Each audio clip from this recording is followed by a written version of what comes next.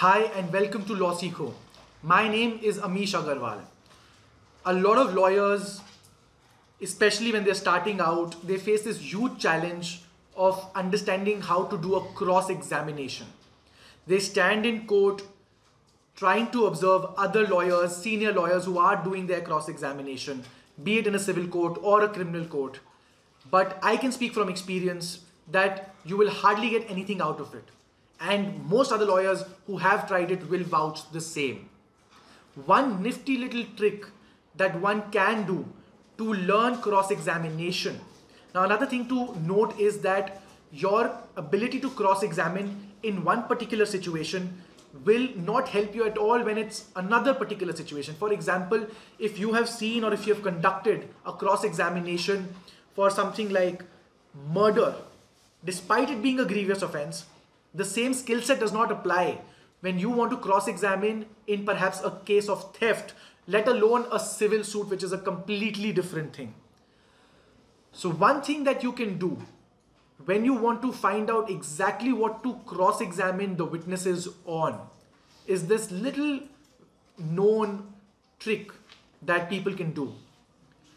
It is a rule that disposed of matters, anybody can apply for certified copies of not just the orders but also the evidence in the case file.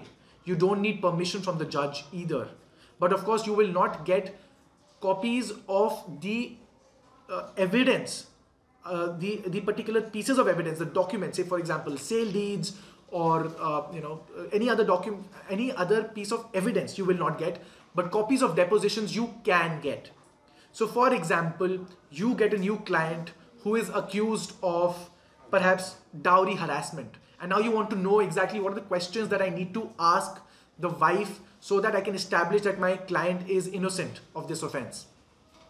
You go online, you look up judgments in which there have been substantial arguments addressed and an acquittal has been secured. And then and of course it should be a it should be a disposed of matter then you go to that concerned court. You move an application for certified copy of all the orders as well as the deposition. Once you see what is written inside the testimony, inside the deposition, you will get a very, very good idea about what kind of questions to ask and about how to drag on your cross examination against every particular witness so that you can ensure that you're doing a very, very good job for your client and that there is nothing which you could have done better but you did not do. There will be no scope for that left.